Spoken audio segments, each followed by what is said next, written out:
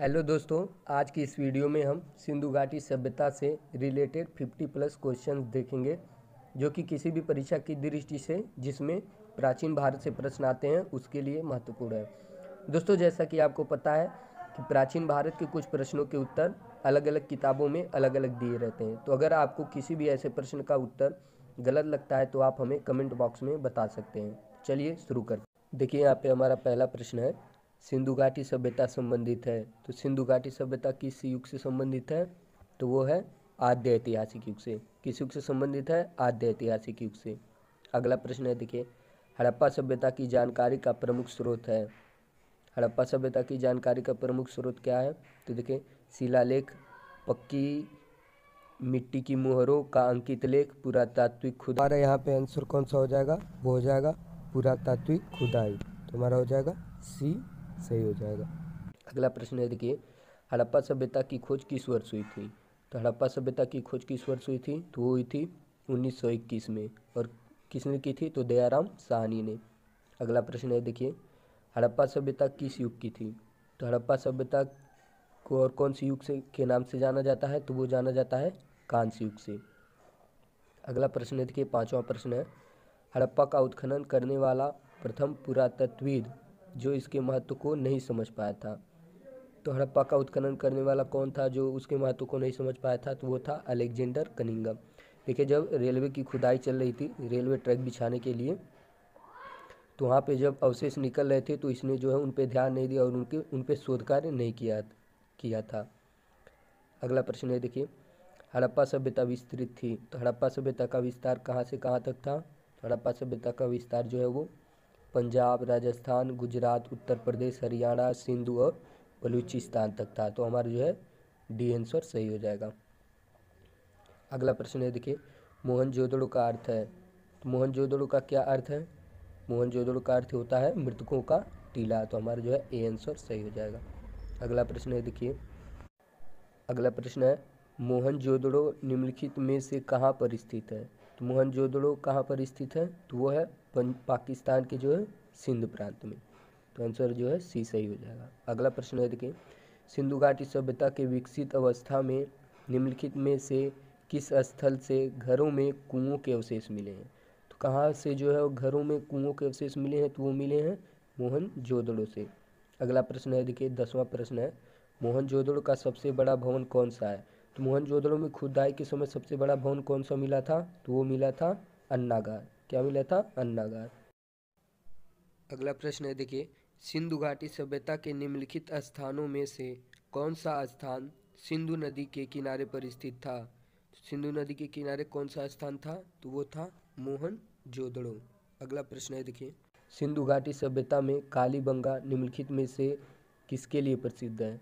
सिंधु घाटी सभ्यता किस कालीबंगा किसके लिए प्रसिद्ध है? तो वो है मिट्टी के पात्र के लिए। किसके लिए प्रसिद्ध है? मिट्टी के पात्र। अगला प्रश्न है, देखिए। हड़प्पा संस्कृति के संदर्भ में शैलीकृत स्थापत्य का प्रमाण कहाँ से मिला है? तो स्थापत्य का शैलीकृत स्थापत्य का प्रमाण कहाँ से मिला है? तो वो मिला है धौलावीरा से। अगला प्रश्न है, देखिए। धौलावीरा किस राज्य में स्थित है? वह तो मतलब धौलावीरा किस राज्य में स्थित है? तो वो है गुजरात में। अगला प्रश्न हड़प्पा काल का इनमें से कौन सा नगर तीन भागों में विभाजित था? तो हड़प्पा काल का कौन सा नगर था जो तीन भागों में विभाजित था? तो वो था धौलावीरा। अगला प्रश्न है, देखिए। निम्नलिखित में से कौन सा स्थल घग्घर एवं उसकी सहायक नदियों की घाटी में स्थित है? तो कौन सा स्थल घग्घर और उसकी सहायक नदियों की घाटी में स्थित है? तो वो है बनावली। तो हमारा जो है डी आंसर सही हो जाएगा। अगला प्रश्न है, देखिए। निम्नलिखित में से कौन सा स्थल सिंधु घाटी की सभ्यता से संबंधित नहीं है? तो कौन सा स्थल सिंधु घाटी की सभ्यता संबंधित नहीं है तो वो है पाटलिपुत्र। पाटलिपुत्र जो है सिंधु घाटी की सभ्यता से संबंधित नहीं है। अगला प्रश्न है, देखिए, हड़प्पा के काल का तांबे का रथ किस स्थान से प्राप्त हुआ है? तो तांबे का रथ कहाँ से प्राप्त हुआ है? तांबे का रथ हमें प्राप्त हुआ है दायमाबाद से दायमाबाद से। अगला प्रश्न है, देखिए, लोथल किस नदी के किनारे अवस्थित था? तो लोथल किस नदी के किनारे अवस्थित था? तो वो था भोगवा नदी के। अगला प्रश्न देखिए, बीसवा प्रश्न है, किस हड़प्पाई स्थल से फारस की मुद्रा प्राप्त हुई है? तो किस हड़प्पाई स्थल से फारस की मुद्रा प्राप्त हुई है? तो वो हुई है लोथल से।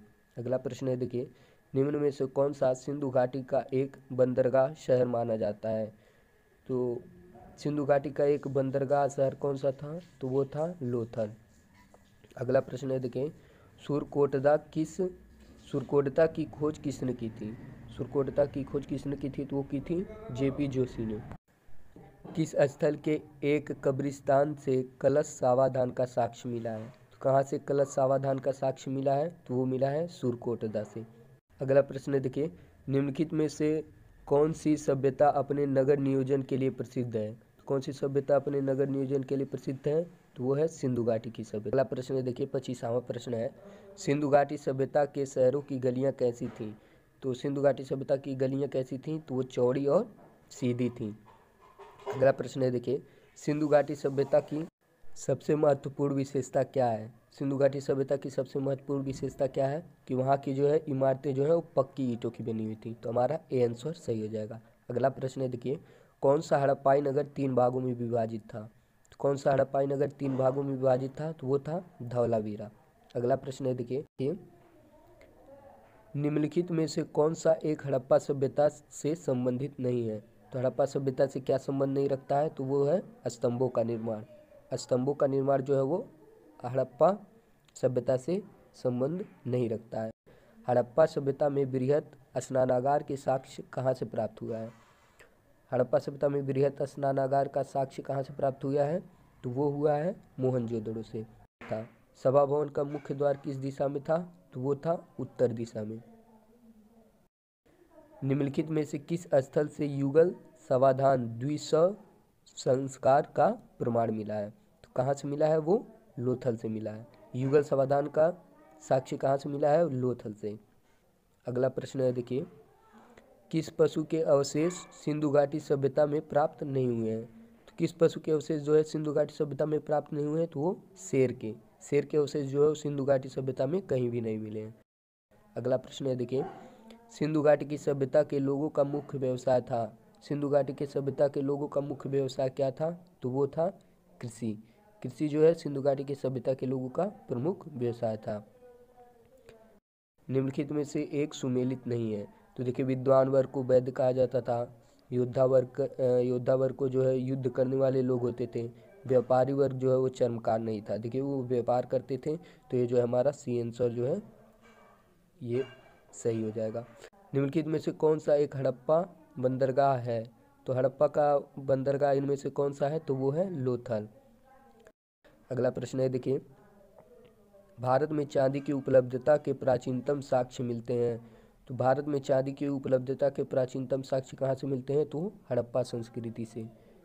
अगला प्रश्न है, देखिए। हड़प्पावासी किस वस्तु के उत्पादन में प्रथम थे? तो हड़प्पावासी किस वस्तु का उत्पादन सबसे ज़्यादा करते थे? तो वो करते थे कपास का। अगला प्रश्न है, देखिए। हड़प्पा कालीन स्थलों में, स्थलों से अभी तक किस धातु की प्राप्ति नहीं हुई है? तो हड़प्पा काल से अब तक किस धातु की प्राप्ति नहीं हुई है? डी। डी मतलब लोहा। लोहा से वो लोग परिचित नहीं थे। अगला प्रश्न है, देखिए। सिंधु घाटी की खुदाई में मिले अवशेषों के तत्कालीन व्यापारिक और आर्थिक विकास के घोतक निम्न में से कौन से हैं? तो इनमें से कौन सा जो है वो व्यापारिक इससे संबंधित रखता था? तो वो मुद्राएँ। मुद्राएँ जो है व्यापार में प्रचलित थी। अगला प्रश्न है, देखिए। सिंधु घाटी के लोग पूजा करते थे। सिंधु घाटी के लोग किसकी पूजा करते थे? तो वो करते थे पशुपति की। देवी माता की पूजा किससे संबंधित थी? देवी माता की पूजा किससे संबंधित थी? तो वो सिंधु घाटी की सभ्यता से। अगला प्रश्न है, देखिए। किस हड़प्पा कालीन स्थल से नृत्य मुद्रावली स्त्री की कांस्य मूर्ति प्राप्त हुई है? तो नृत्य करती हुई स्त्री का कांस्य मूर्ति कहाँ से प्राप्त हुआ है? तो वो हुआ है मोहन जोदड़ो से। अगला प्रश्न है, देखिए। मृड पट्टिका पर उत्कीर्ण सिंह युक्त देवता की कृति कहाँ से प्राप्त हुई है? तो मृत मृड पट्टिका पर उत्कीर्ण सिंह युक्त देवता की मूर्ति कहाँ से प्राप्त हुई है? तो वो ही है कालीबंगा से। निम्नलिखित में से किस पशु का अंकन हड़प्पा संस्कृत की मुहरों पर नहीं मिला है? तो किसका जो है मुहरों पर अंकन नहीं मिला है? तो वो घोड़े का। घोड़े का अंकन जो है, नहीं मिला है। अगला प्रश्न है, देखिए, पैंतालीसवां प्रश्न है, सर्वाधिक संख्या में मनके का निर्माण किससे हुआ है? तो मनके का निर्माण किससे होता था? तो वो पकी हुई मिट्टी जिसे जो है टेराकोटा कहा जाता था। अगला प्रश्न है, देखिए, निम्नलिखित पशुओं में किस एक का हड़प्पा संस्कृति से प्राप्त मुहरों और टेराकोटा कलाकृतियों में निरूपण नहीं हुआ था? किसका नहीं हुआ था? गाय का। गाय का जो है वो मुहरों पर अंकन नहीं हुआ था। अगला प्रश्न है, देखिए, सिंधु घाटी सभ्यता की लिपि कौन सी है? सिंधु घाटी सभ्यता की लिपि कौन सी है? तो वो है अज्ञात है, क्योंकि वो जो है चित्रों के माध्यम से अपनी भाषा का आदान प्रदान करते थे तो जिसे अभी तक पढ़ा नहीं जा सका है। तो कौन हो जाएगा चौथा हमारा जो है, अज्ञात। अगला प्रश्न है, देखिए, निम्नलिखित में से कौन सा कारण हड़प्पा सभ्यता के पतन के लिए उत्तरदायी नहीं है? तो हड़प्पा सभ्यता के पतन के लिए उत्तरदायी क्या नहीं है? तो वो जो है, जल परिवर्तन। जल परिवर्तन जो है, वो हड़प्पा सभ्यता के पतन का कारण नहीं माना जाता है। अगला प्रश्न है, देखिए सिंधु घाटी के लोगों की एक महत्वपूर्ण रचना निम्नलिखित में से किसकी मूर्ति है? तो सिंधु घाटी के लोगों ने किसकी मूर्ति की रचना की थी? तो वो नृत्य करती हुई मूर्ति की। अगला प्रश्न है, देखिए, सिंधु घाटी के सभ्यता के लोग किसकी पूजा करते थे? तो देखिए, ये जो है प्रश्न रिपीट हो गया है तो फिर भी हम इसको कर लेते हैं। तो किसकी पूजा करते थे? तो वो पशुपति की। दोस्तों, अगर यह वीडियो आपको पसंद आया है तो ये वीडियो को लाइक करें और ज़्यादा से ज़्यादा अपने दोस्तों में शेयर करें, जिससे कि उनको भी इसकी जानकारी मिल सके। धन्यवाद